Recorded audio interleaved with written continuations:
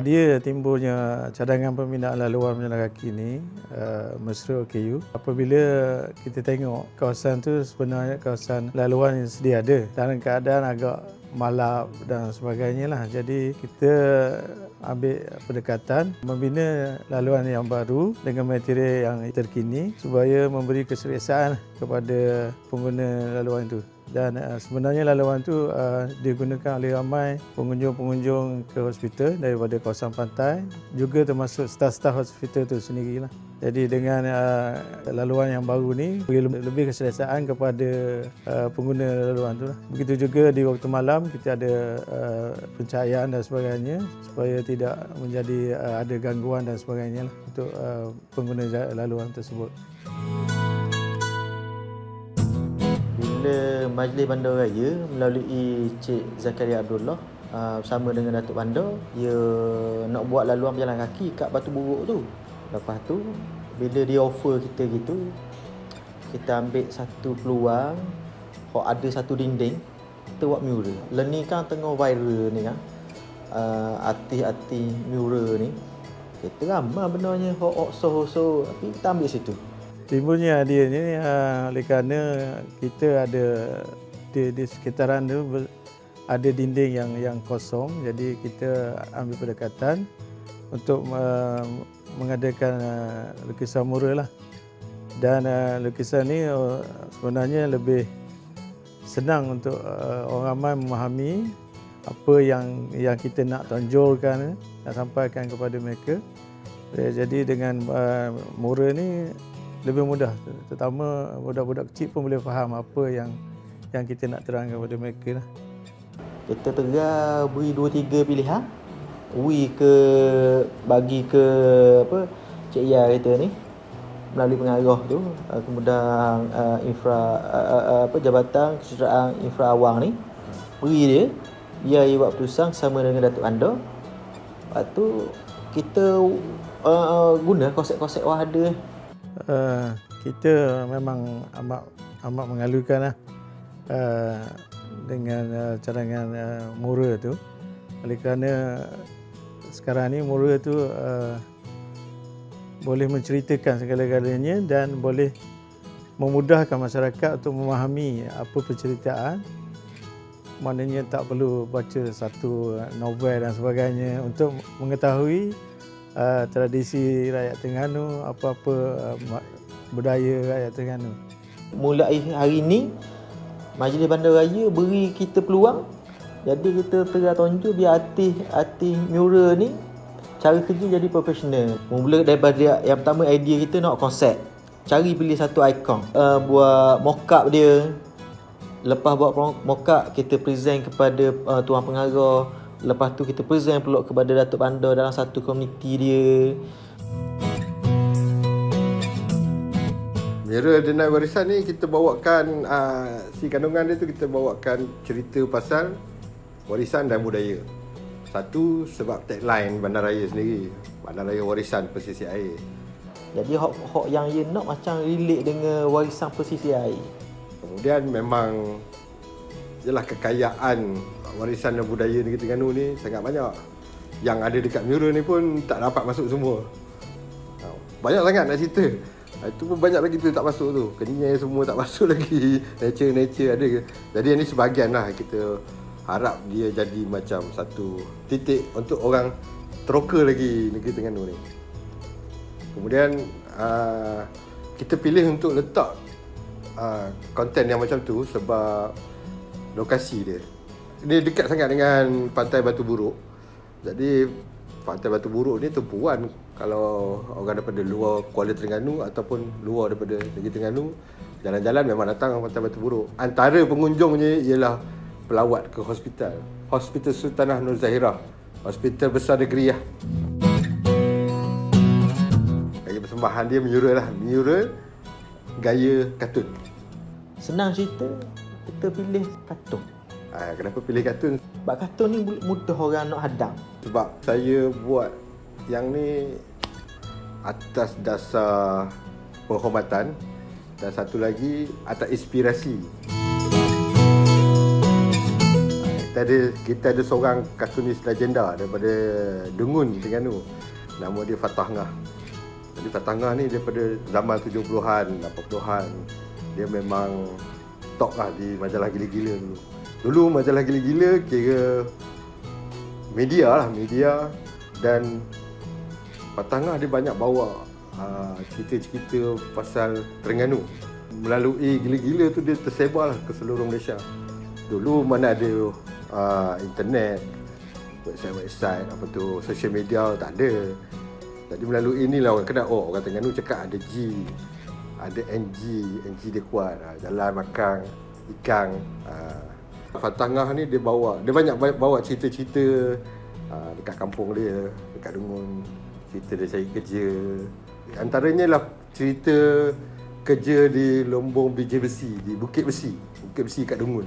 Uh, itu yang nampak uh, dia kuat membawa identiti tempatan. Dan saya kira uh, Mira ni saya jadi penghormatan lah. Pada saya dia ialah tokoh. Cuma kita nak sekarang ni tokoh-tokoh yang kita mula lupai tu kita nak ingat balik. Ha. Kita nak ambil buah semangat dia, ambil orang buat ada satu landasan dah untuk kita. Jadi hari ni kita ambil dia inspirasi dia tu sebagai kita akak lagi, suruh peluah lagi. Saya sebenarnya berasal dari Perak. Daripada Taiping, Perak. Tu dalam mural tu ada air Taiping. Ha, itu ingatan saya dekat Taiping lah tu. ha, baca Taiping tu saya tinggal kampung saya Taiping. Uh, sebelum ni saya bekerja dan kemudian saya berniaga lukisan dan barang-barang craft ni di JB, di Johor Bahru. Sampai hujung 2015. Kemudian 2016 uh, anak saya nak masuk jas satu saya berpindah ke sini ke Kuala Terengganu di kampung isteri saya. Sejak 2016 saya dekat sini sampailah ke hari ini uh, saya dapat sampaikan melalui sudut pandang kalau orang luar Terengganu datang Terengganu dia nak apa. Ha, jadi saya cuba sampaikan seolah-olah macam saya ni Yalah memang saya orang luar pun Jadi apa yang menarik di Terengganu dan itu yang uh, saya cuba ketengahkan dalam mural. Dan satu lagi sebenarnya saya suka nak bawa beberapa dialek. Saya tak nak banyak-banyak. Saya nak dalam 4 5 perkataan. Kalau pengunjung boleh bawa balik 4 5 perkataan dialek negeri Terengganu ni saya rasa puas dah sebenarnya. Ha, sebab masa saya datang duduk sini pun sebenarnya benda yang saya nak belajar tu ialah tu lah, dialek. Ha, dialek. Nak tahu tembor tu benda apa. Uh, ke tebing telur agong tu benda apa jadi saya harap yang ni jadi memori yang tak perlu bayar. Ha, memori yang percuma. Cuma perlu baca je. Ataupun dengar yang saya punya kereta maya tu lah. Nanti suara saya akan berkumandang dekat situ. Ha, scan QR code tu nanti saya akan teman anda semua dekat dalam dalam handphone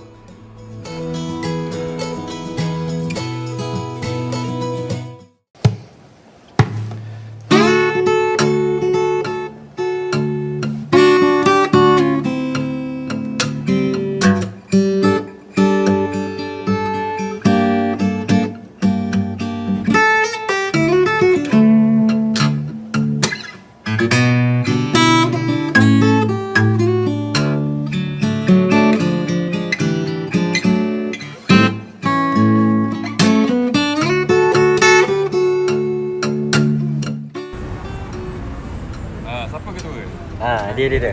Bahasa dia yang paling tua.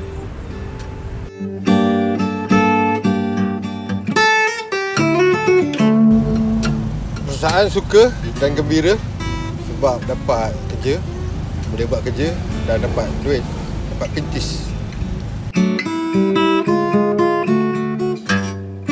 Cuaca, cuaca alhamdulillah menyebelahi kita. Memang panas sepanjang 20 hari tu. Tapi ada dua hari hujan Tapi kita orang terus sambung lepas hujan tu.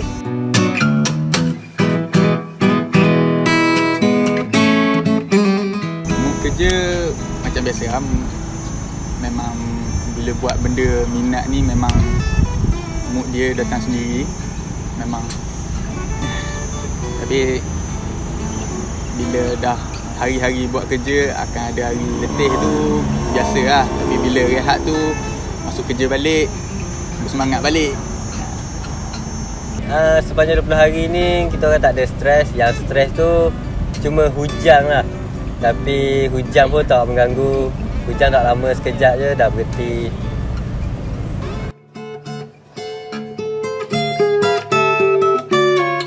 Berapa hari kerja dalam masa lebih kurang 3 minggu.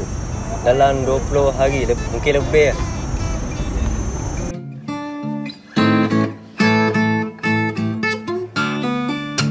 Bermula dengan uh, proses lakaran yang kita ambil daripada daripada design untuk kita alih kepada dinding. Proses tu makan masa agak lama. Kita guna untuk pendekkan masa tu kita guna kita guna grid. Ha, kita guna grid gunakan kapur ataupun cat untuk dapatkan bentuk uh, yang kita nak lukis. Selepas selesai selepas selesai um, masuk lakaran kita bagi-bagi tugas.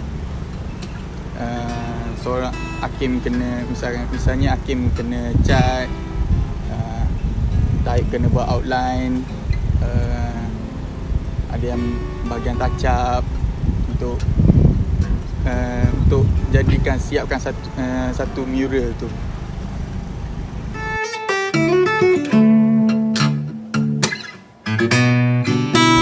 Untuk bahan melukis ni macam biasa kita guna berus, kita guna lead, kita guna cat.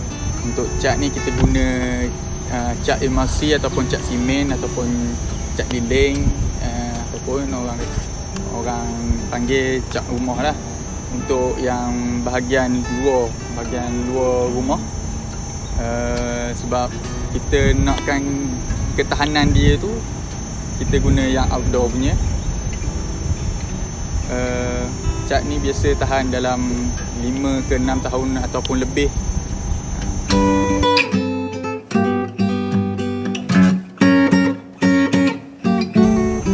Pelajaran baru, pelajaran baru sepanjang 20 hari ini sangat banyak Belajar mengenai semua happening untuk kerja Daripada mula-mula belajar bentuk, rupa, marking, group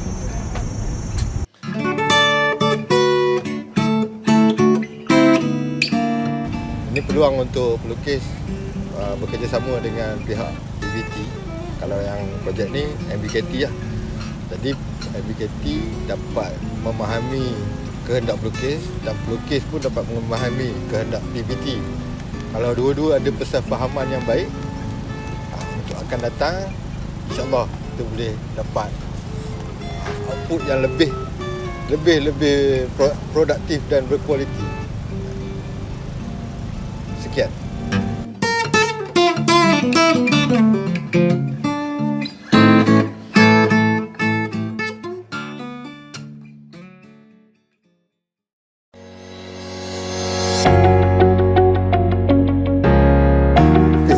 Bab dah settle. Sebenarnya ada dua bahagian dalam mural ni. Satu ialah biaya- biayaan dari Majlis Bandaraya Kuala Terengganu untuk buat mural dan konten. Kemudian kita dapat sokongan daripada Balai Seni Negara untuk kita innovate mural ni dengan masukkan kurator maya. Ha. Ni nak cover eh. Sama macam VO lah. Jadi kita ada proses uh, kita panggil voice over, suara latar yang mana kalau pengunjung datang kita sediakan QR code scan akan ada video keluar dekat telefon. Boleh dengar suara tu. Kurator maya dia akan terangkan satu-satu. Mural ni ah, ini gambar apa apa cerita dia. Ni gambar apa ni apa cerita dia. Ha, ni perkataan ni macam dia nak sebut ni apa cerita dia. Ha. jadi saya harap benda ni jadi bawa mural ni ke tahap yang lebih lebih baik. Ha, kita nak sikit-sikit. No problem.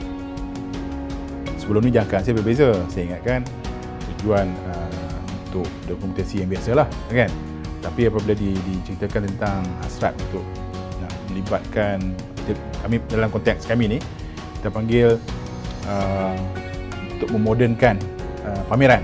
Uh, kan? Maksudnya pameran kita tahu lah zaman dulu macam biasa kita tengok kan kita, kita cabaran kita sekarang nak deal dengan orang ramai dan uh, kurator peranan kurator adalah sebagai jambatan.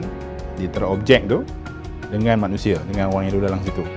So apa kaedah dia. Uh, method dia macam mana kan? Dalam keadaan keadaan sekarang. Sekarang sekarang Encik Ted kita kita ada teknologi kan? Dan semua orang membawa teknologi tu kan?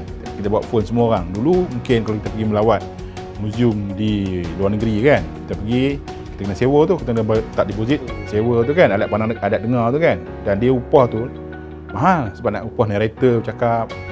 Lepas tu nak mesin alat tu kan. Sekarang ni tak ada. Sekarang ni semua dah ada. Teknologi tu maksudnya dah lebih democratize cara untuk nak sampai benda tu kan. So sama juga pendekatan Encik Taib ambil ni untuk uh, menjadi kata, penghubung di antara lukisan visual di situ selain hawa mata kan? Indera mata kita termasuk juga indera mendengar kan? Ha, jadi itu dan dan kata apa meng, menghadirkan pula uh, karakter atau watak-watak tertentu di situ. Kita pun memang mengalung-alungkan uh, inovasi ini oleh kerana sekarang zaman digital jadi oleh kerana inovasi ini uh, kita dapat mempromokkan uh, apa hasil kerja kita buat ni bukan setakat uh, Terengganu, Malaysia malah untuk dekat global lah kita kira.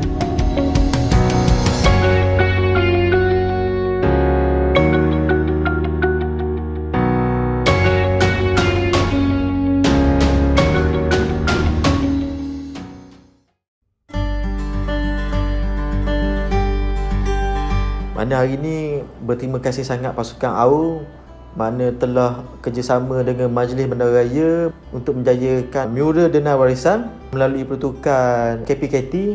Terima kasih banyak kepada Datuk Noi Shang, Datuk Ketua Pengarah, Datuk Bando, Datuk Razali Saleh, kepada Pengarah Ketua Jabatan uh, Encik Zakaria Abdullah, Encik Sufi dan berterima kasih juga kepada Unit Perancangan dan Pengawasan Projek UPP Majlis Bandaraya beri peluang kepada kita untuk menjayakan ini. Bila pendekatan ni memang kita kata selari dengan pendekatan Balai Seni Negara. Ha, untuk kita kata dah nak pergi ke tahun 2020 kan sejak tahun lepas memang pendekatan kita memang kita panggil untuk pemodenan penyampaian ni memang ada dalam tu. Ha, jadi dalam yang sebut tadi kan yang benda yang dilihat yang kita dapat uh, di, di, di apa di, dicerap oleh indrawi kita satu lagi benda yang kita tak nampak yang unseen ni Ha, macam mana nak nak memperlihatkan benda yang tak nampak ni adalah dengan ni lah yang hasrat pelukis ni proses itu dengan teknologi ni. Jadi kami kat sini cukup uh, kami rasa seolah macam kita cakap bahasa yang sama lah. Uh, kan? Balai kat KL ni kita rasa uh, ada ada satu kumpulan pelukis di Kuala Tengganu ada apa punya kita fikir benda yang sama. Oh, baguslah kita rasa sangat uh, apa? Kami bukan seorang-seorang lah. Dengan pihak Taib pun, pelukis pun rasa bukan seorang-seorang juga kan kita nak yang akhir sekali manfaat tu dapat pada masyarakat kita ha, keseluruhan komuniti kita masyarakat kita kan orang ramai ha, itu betul betul itulah saya rasa sangat sangat uh, pendekatan yang sangat baik lah. Sekarang zaman tahun 2021 lah. Saya sebenarnya ada baca satu buku daripada Balai Seni. Dia nama Malaysia Graffiti Database, Bangat. Okay, kalau kita tengok balik dalam tu, tu semua pejuang-pejuang lah. Dulu, dia orang ni main graffiti dekat Kuala Lumpur. Banyaknya kat Kuala Lumpur. Dulu graffiti street art ni, orang masih belum boleh terima. Jadi dia orang dah berjuang. Walaupun uh, ada yang buat tu pun, yalah ada orang tak suruh pun dia, dia, dia orang buat. Sampailah art, sampailah seni jenis tu boleh diterima masyarakat dan kami yang label kami yang generasi kemudian ni sebenarnya dapat manfaat daripada perjuangan orang-orang yang lepas tu lah. Jadi ni pun antara ucapan terima kasih lah. Jadi saya ambil kesempatan kat sini nak ucap terima kasih atas perjuangan uh, saudara-saudara graffiti artis. Saya sebenarnya nampak Terengganu ni berpotensi tinggi untuk kemajuan seni visual khususnya di masa akan datang Cumanya untuk masa ni uh, saya haraplah ini harapan saya. saya tak tahu saya betul ke tak betul. Uh, ni main cakap je. Macam mural ni sebab dia dekat dengan masyarakat, dia dekat dengan rakyat. Jadi kita mulakan dengan yang ni dulu. Uh, lepas tu ada 2 3 studio pun dah studio lukisan maksud saya ya. Dah mula beroperasi, buka. Jadi orang boleh jumpa dengan pelukis, kenal. Dia tak beli terus. Tu dia perlu kenal dulu sikit-sikit.